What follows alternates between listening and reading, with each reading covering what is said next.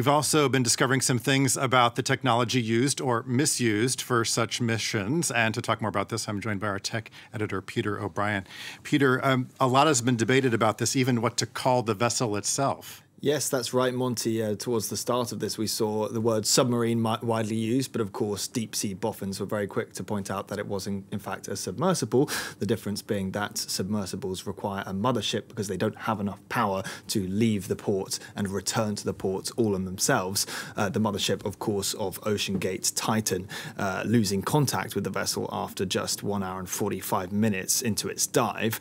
And once details emerged on the vessel's design, there was an almost obsessive mm. focus on this. Uh, the fact that it was controlled with a video game controller, a budget one at that, specifically the Logitech F710, although we don't know for sure that this one was used on the mission, but it seems likely that it was that or a similar game controller. And this was an easy target for ridicule. I mean, people were saying, how could you be sitting in something uh, on which your life depends and controlling it with something that's used to pilot video games? But um, I'd say that it's probably the the, the least of many of the concerns surrounding uh, the Titan. Uh, militaries around the world use video game controllers to operate ha- hardware. It's even used in other subsea vehicles. Here you see the U.S. Navy's Virginia class nuclear-powered attack submarine, and its uh, photonic mast, or in common parlance, periscope, is operated by an Xbox 360 controller.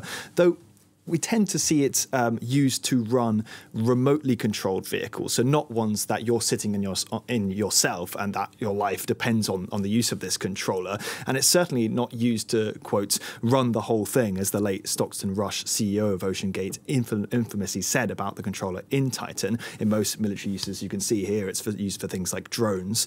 Um, and the solution of a wireless knockoff controller connected to a Windows PC running sort of Windows 7 just seemed alarmingly cheap to many people. Well, especially considering how much people paid to, to get on the ship yeah. in the first place. Uh, so is this a cautionary tale about tech just being produced too cheaply? Yeah, of course, it's always going to be extremely dangerous cutting corners uh, when you're talking about something that's life or death. I mean, the bottom of the ocean. But there are remarkable examples of what can be done with rudimentary tech. Um, so if you look at, for instance, uh, something called narco subs or drug subs, uh, there are there have, there have been many instances of uh, the Coast Guard's, uh, the US Coast Guard in particular, uh, intercepting uh, semi submersible vessels suspected of carrying drugs. This video is from 2019 from the uh, US Coast Guard.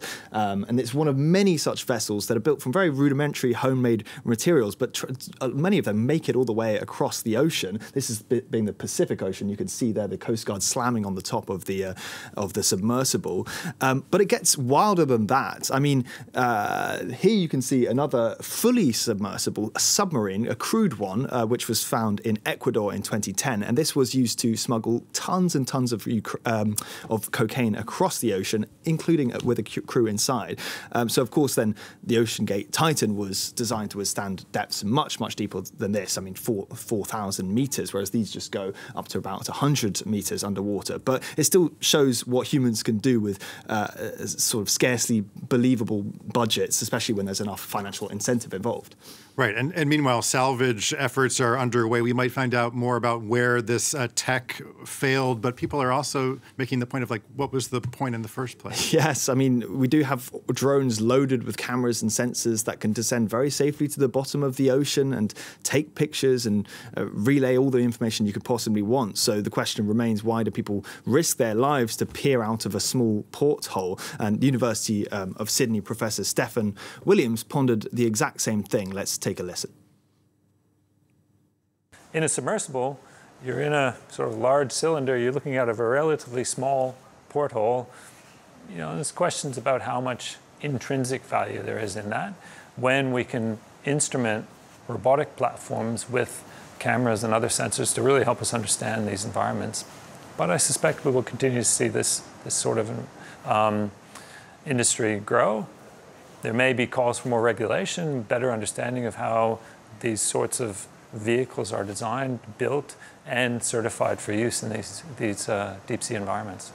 And this, for me, has implications not just about this example in particular, but for all of technology. Uh, as technology improves and screens get higher resolution, we get VR, you can immerse yourself in worlds. Well, no matter how much we can see and experience things through headsets or some sort of technology, for some reason, human nature always wants to see things for itself and will always have people uh, g- trying to actually be there and experience it for whatever reason, be it, be it uh, out of personal curiosity, uh, to show off, to prove that you're someone who can do it, uh, a whole number of reasons that are very limited to the human experience and not to technology. Right, no replacement for the real thing, in other Yeah. words. Uh, tech editor Peter O'Brien. Peter, thanks so much.